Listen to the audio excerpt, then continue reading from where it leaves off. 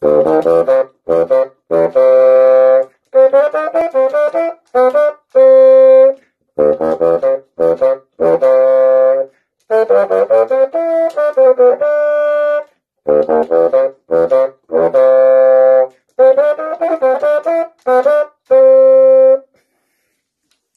azért szeretek a zeneiskolába járni, mivel a tanárok mindig segítőkészek, mindig ott vannak, ha valami baj van, emellett ilyen szerintem különleges hangszereken is meg lehet tanulni játszani, mint például a fagot.